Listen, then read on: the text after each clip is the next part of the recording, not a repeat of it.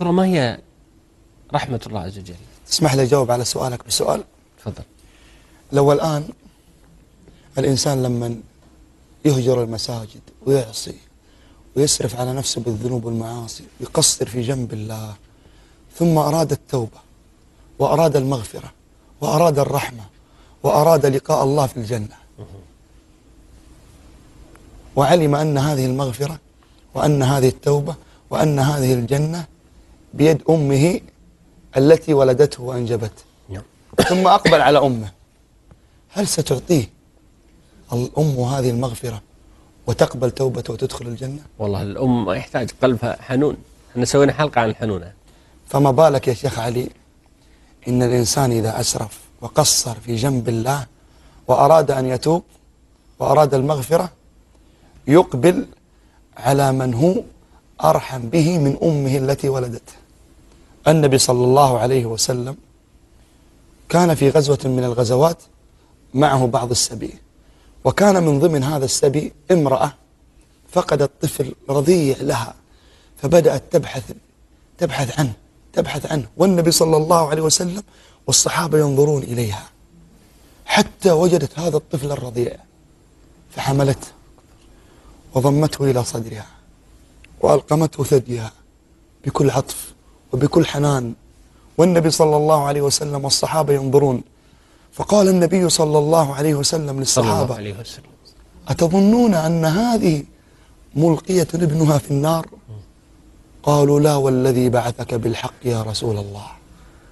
فقال لهم لله أرحم بعباده من هذه بولدها. ورحمتي وسعت كل شيء. ورحمتي وسعت كل شيء. فسأكتبها للذين يتقون ويؤتون الزكاة والذين هم بآياتنا يؤمنون.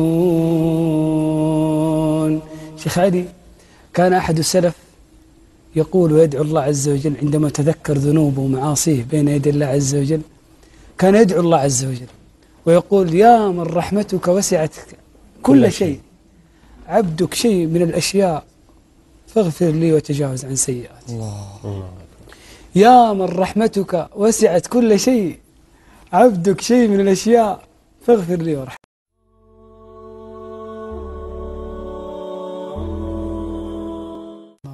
ترى ما هي رحمة الله عز وجل؟ تسمح لي أجاوب على سؤالك بسؤال. تفضل. لو الآن الإنسان لما يهجر المساجد ويعصي ويسرف على نفسه بالذنوب والمعاصي يقصر في جنب الله ثم أراد التوبة وأراد المغفرة وأراد الرحمة وأراد لقاء الله في الجنة وعلم أن هذه المغفرة وأن هذه التوبة وأن هذه الجنة بيد أمه التي ولدته وأنجبته نعم. ثم أقبل على أمه. هل ستعطيه الأم هذه المغفرة وتقبل توبته وتدخل الجنة؟ والله الأم يحتاج قلبها حنون. إحنا سوينا حلقة عن الحنونة فما بالك يا شيخ علي إن الإنسان إذا أسرف وقصر في جنب الله وأراد أن يتوب وأراد المغفرة يقبل على من هو أرحم به من أمه التي ولدته النبي صلى الله عليه وسلم كان في غزوة من الغزوات معه بعض السبي وكان من ضمن هذا السبي امرأة فقدت طفل رضيع لها فبدأت تبحث تبحث عنه تبحث عنه. والنبي صلى الله عليه وسلم والصحابة ينظرون إليها.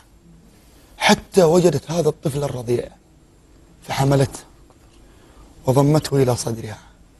وألقمته ثديها بكل عطف وبكل حنان. والنبي صلى الله عليه وسلم والصحابة ينظرون. فقال النبي صلى الله عليه وسلم للصحابة عليه وسلم. أتظنون أن هذه ملقية ابنها في النار؟ قالوا لا والذي بعثك بالحق يا رسول الله. فقال لهم لله أرحم بعباده من هذه بولدها.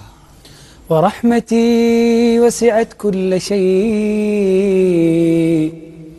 ورحمتي وسعت كل شيء. فسأكتبها للذين يتقون ويؤتون الزكاة والذين هم بآياتنا يؤمنون.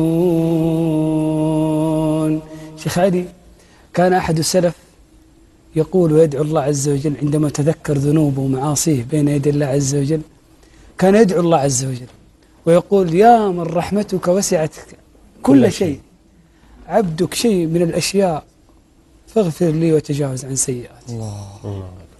يا من رحمتك وسعت كل شيء عبدك شيء من الأشياء فاغفر لي وارحمني. الله.